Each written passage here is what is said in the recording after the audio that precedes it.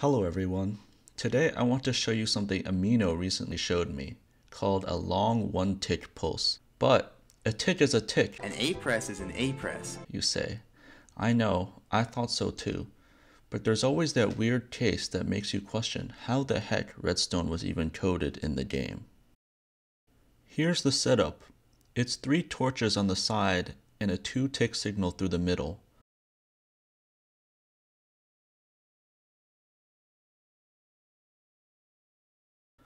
What will happen when I press this button?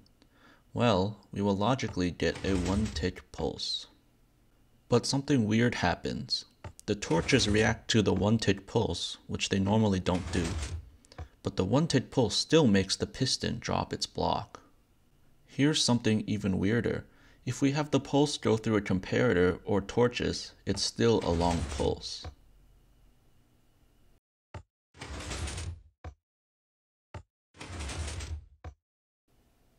But if the pulse goes through a repeater, it becomes a standard one tick pulse.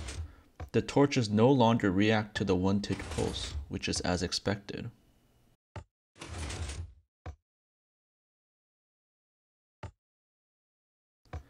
Amino even shows a long 2-tick pulse that makes an observer fire twice. This could possibly be used in some kind of cursed serial system based on these weird pulses.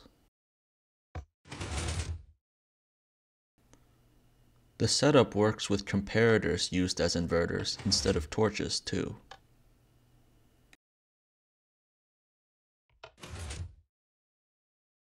My motivation for this is that I was looking at an insta-carry adder and I wanted to know if some combination of inputs would cause a piston in here to drop a block. I wasn't sure since I thought maybe the torches would filter out this one tick pulse, but sadly that's not the case.